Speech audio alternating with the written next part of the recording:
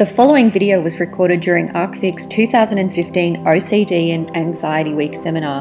To see more segments from this exciting yearly event, or to learn more about ArcVic's helpline, support group, recovery programs, and community and professional education training, please visit the ArcVic website at www.arcvic.org.au.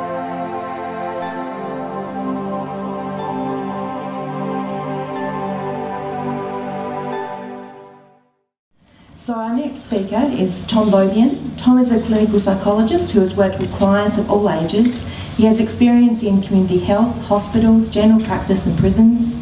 Whether facilitating groups, working with individuals, couples or families, resilience is a constant theme in all of the therapeutic work that Tom does. And Tom is also um, very pleased to say that Tom's been uh, very big part of our ArcVic family as well over the years and uh, it's lovely to be seeing see you now working in the field. So please welcome Tom. And he's also a board member. Okay, I'll um, notice we're taping today, so I'll try and contain myself to this area. Usually I'd like pace around and stuff, basically as a way of managing my own anxiety. Um, was talking to Renee just a moment ago about the length of this morning's presentation. Um, initially the intention was to do 45 minutes. I'll keep it a bit shorter um, to give Lou Cooper um, a chance to do uh, some of the great stuff that she will next. Um, you're not missing out, right? The, the content that I'm presenting today um, is flat out stolen from a, a, a, treatment program that usually runs over a period of nine months, right? So this is the broadest possible overview um, of this stuff. Um, and if you're wanting more information on it, um, you're welcome to Google and read, and of course ask me questions at the end. Um, but I suppose the, the kind of longest subtitle for my presentation could, today could be things that might help you be less unhappy, right? The resilience um, ultimately is not about, oh, excuse me, resilience is, is not about a sense of pleasure, right? It's not about a sense of things going well, because most people actually do quite well when times are good. Um, and when it comes to kids in particular, right, most people, most parents, and Lisa spoke to this really beautifully before, um, want things to be great all the time. But that's completely unrealistic because sometimes life isn't like that. Nasty things happen, we all have painful experiences, that's just part of life. It's one of the inevitable challenges we all need to face. And so there are things that we can do to um, assist with that. Now, I have very few slides. My intention um, is really to take as many questions and have an open conversation with you guys as much as possible. So please jump in. Um, if at any point uh, you have a specific question or you want me to take things in a specific way, uh, please do so, right? Because I, I, suppose I don't have the, the kind of um, extensive experience and research background of Rod. Um, you know, my thing is more about, I suppose, embracing the chaos of the situation. Um, and yeah, this uh, presentation is intended exactly along that way. So some really simple stuff, right? And a lot of this content, again, you could almost lift from like a year seven health class, right? Early high school, late primary school, hydration, diet, and exercise. So none of this stuff, again, will definitively help a person feel good. Most of this stuff will help most people feel less bad.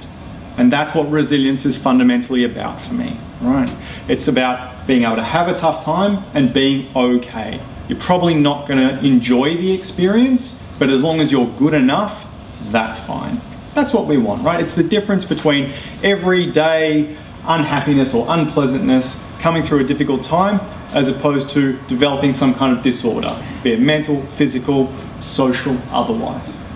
Um, now, in the, the kind of Western medical tradition, we separate mind and body, right? That we have this concept of, uh, of your, your, kind of mind as being almost outside of your body, right? And philosophically, this is called a dualist perspective. It's like the, almost like the soul as separate um, to your physical being. But that does not play out in all cultural spheres, um, and even in the, I suppose, some of the kind of uh, bordering Western cultural spheres. In the German medical tradition, for instance, uh, psychiatrists are also trained as neurologists, right? So they are doctors of the mind and doctors of the brain simultaneously because these two concepts are, of course, the same.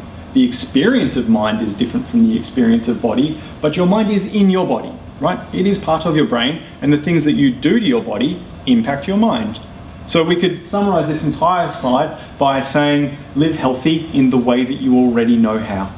Right? Don't get overly complicated by it. Drink enough water. You should pee clear at the end of the day. it's a simple little guideline there. Uh, you know, eat well. Food pyramid, right? Whatever version of the food pyramid you're running with. But basically, eat a lot of healthy food, eat a little bit of unhealthy food because it's delicious. Um, and yeah, like pay attention to what your body's telling you. If it's not going well, if you're currently unwell, if you're carrying too much weight, if you're not carrying enough weight, you probably need to change your diet.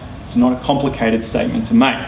And that's a, a, big theme here, is a lot of this stuff is very, very simple, and a lot of this stuff is very, very hard. Because if it was easy, everybody would do it.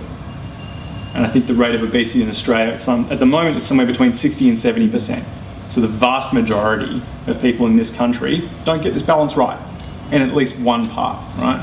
And that also is fine, as long as it doesn't get in the way.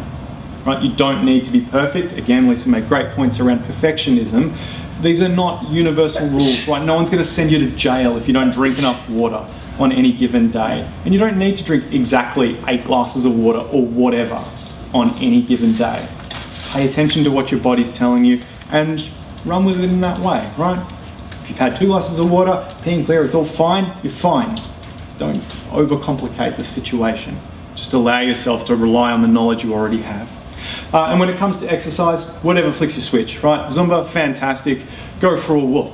Uh, excuse me, go for a walk, go for a swim, ride a bicycle, do boxing stuff, whatever weird and wonderful abstract experience you want to have. And I mean, really, I think if you can incorporate this into other activities you already have to do, do that.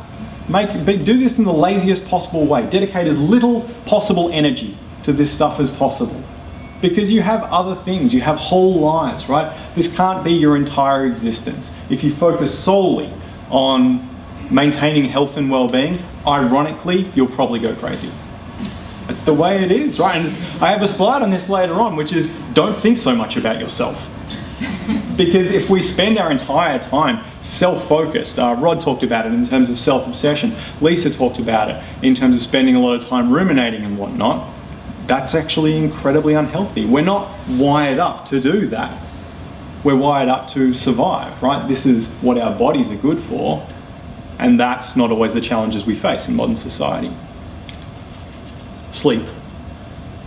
We, we so often underestimate sleep as a um, really simple, really hard, really important intervention.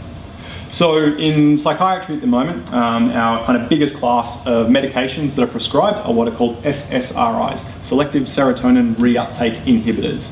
Um, and we've developed as a kind of broader psychiatric community about a million of them, right? There's heaps and heaps of these drugs that all roughly do vaguely the same thing in a kind of different way. And no one really understands why they work.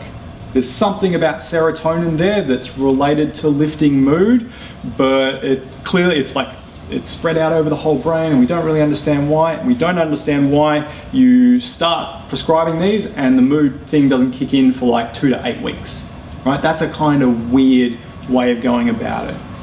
One theory is that all antidepressants, as a common theme, help regulate sleep. And you probably know from your own experience, if you wake up and you're happy and you're refreshed and you don't feel tired, you're energized, you're probably going to have an amazing day. Right? You jump out of bed, you're like, wow, this is unusually good sleep, and I just feel raring to go. And you take energy and you take focus, and you'll probably do really well at whatever's going on for you. Conversely, um, if you are jet lagged um, or you had caffeine at like the wrong time of day, or you know someone woke you up repetitively during the night, um, and you wake up cranky, you'll be you'll struggle in terms of your like intellectual processing. You know, if we were to measure you on an IQ, you'd look a bit dumber on any given day. And it's like there's nothing fundamentally wrong with your brain, right? It's just you've got less energy to pump into those kinds of exercises. Um, your emotions are likely to be much more wild and variable, and you're probably going to struggle. You've got less attention to spend, you've got less energy to spend.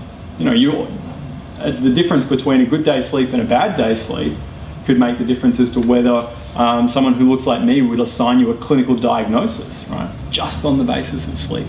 So if you can get sleep right, it's not necessarily going to make things good, but it'll hopefully make things less bad.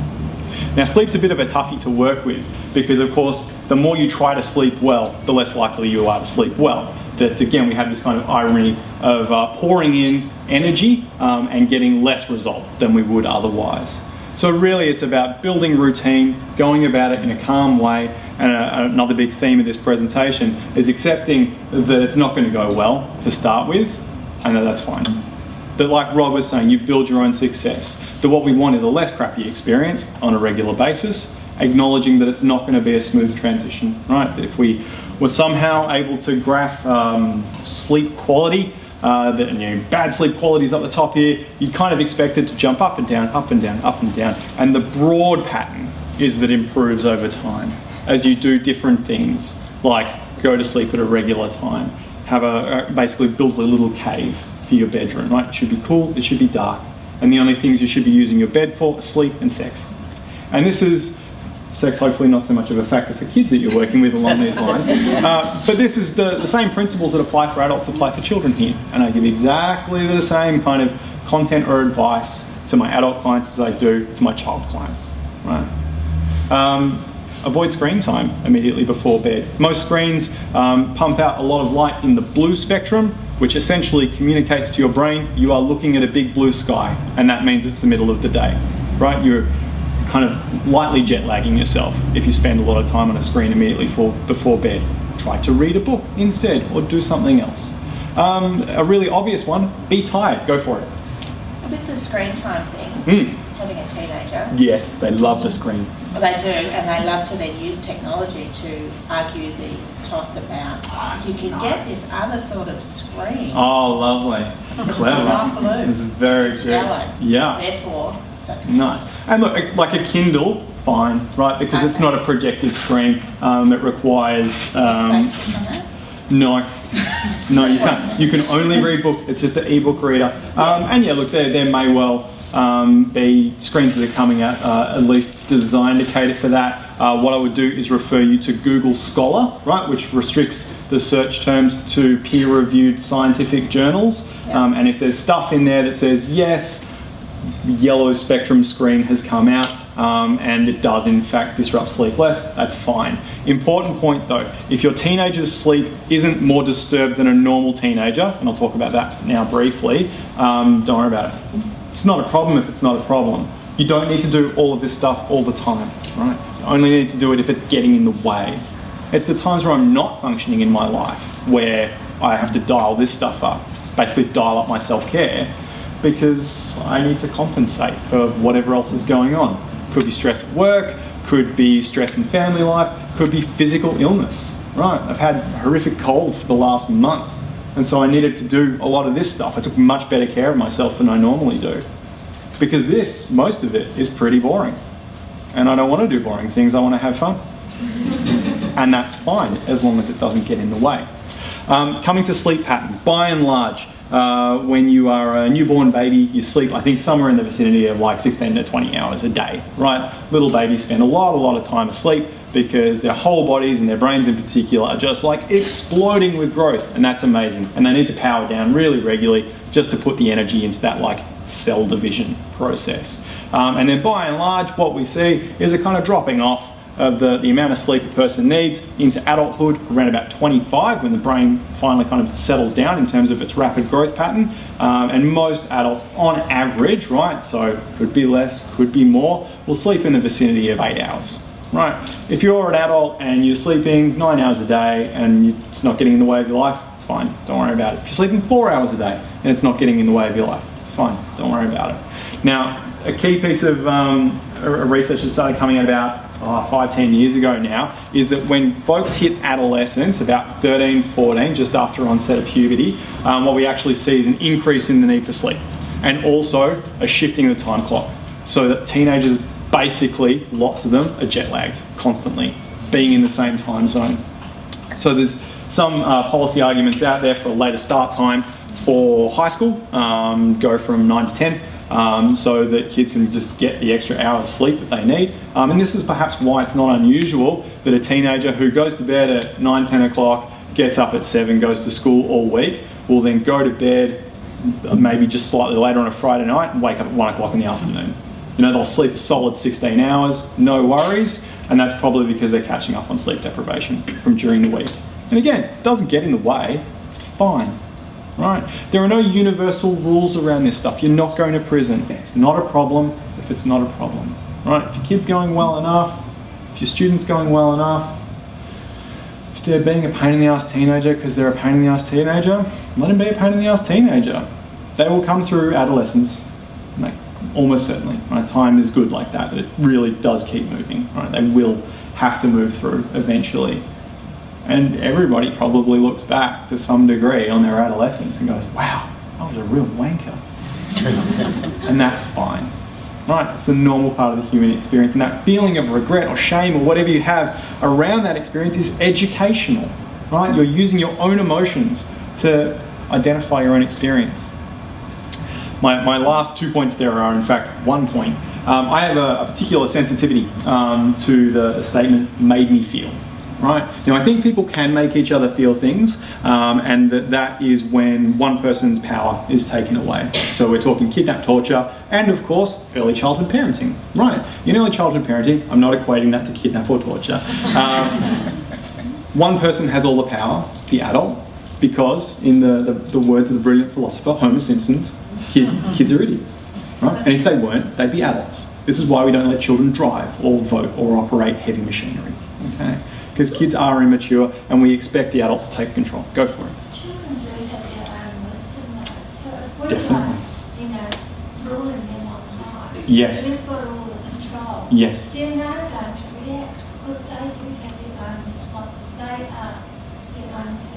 And I love that statement in terms of I think when you're seeing that pattern of a child buck against your authority as a parent, you're probably getting a sign that that child is ready to take some responsibility in that area.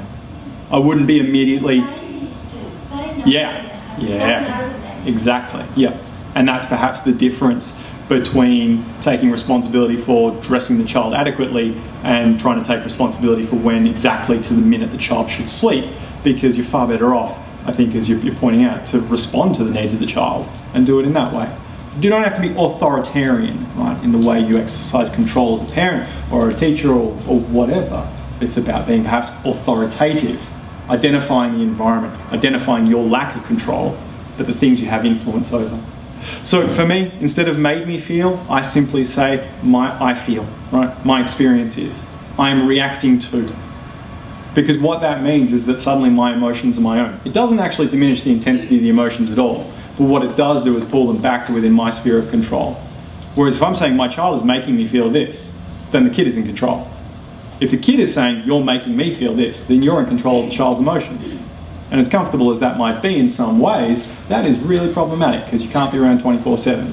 And if you're trying to be, your child has separation anxiety.